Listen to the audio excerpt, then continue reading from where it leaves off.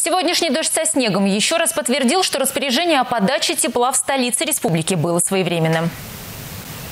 Прогноз оказался точным. На улице чуть больше нуля. В Чебоксарах тепло подано в садике, школы и почти во все больницы. Окончательно медицинские учреждения будут подключены сегодня. Так и не решен вопрос по теплоснабжению микрорайона Байконур. Мы уже говорили о том, что там управляющая компания пока не закрыла задолженность перед ресурсоснабжающими организациями. Холодными останутся батареи в семи многоквартирных домах, где еще не завершен капитальный ремонт. Сейчас в столице подключены к теплу 57% домов. Администрация уверяет, что завтра вопрос будет закрыт полностью. В Новочебоксарске распоряжение было подписано в субботу, но тепло начало поступать только сегодня. В остальных муниципалитетах отопительный сезон еще не начат. Отдельные муниципальные образования даже распоряжение о подаче тепла не подписали.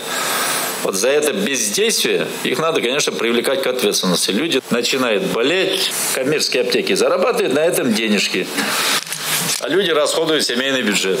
Михаил Игнатьев потребовал от глав в кратчайшие сроки решить проблему подачи тепла. На совещании также озвучили данные дополнительной государственной итоговой аттестации. Кроме того, обсудили ход проведения ярмарок по продаже сельскохозяйственной продукции. Они работают в пяти городах республики. Цены там сложились ниже, чем в организациях торговли. Продано уже почти 40 тонн картофеля и других овощей. Ярмарки будут работать до 6 октября. На них, кстати, организован бесплатный развоз продукции.